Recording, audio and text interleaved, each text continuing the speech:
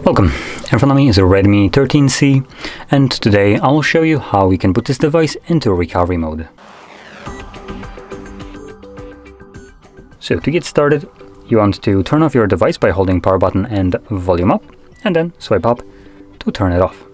Now when the device is off, again hold power button and volume up at the same time.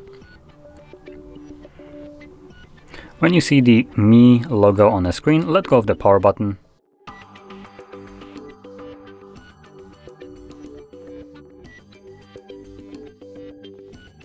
And as you can see, this will take us to the recovery mode. And here, we can use a volume buttons to navigate through the options, and power button will be used to confirm whatever is selected. Now quickly going over the limited amount of options, we have reboot, which takes us back to Android. Then we have wipe data, which consists of uh, just wiping all data, no wipe cache partition. And then we have connect with Mi Assistant. So there we go. Now I am gonna confirm the reboot, reboot to system.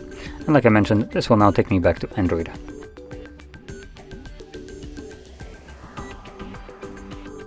And as you can see, we are now back in Android.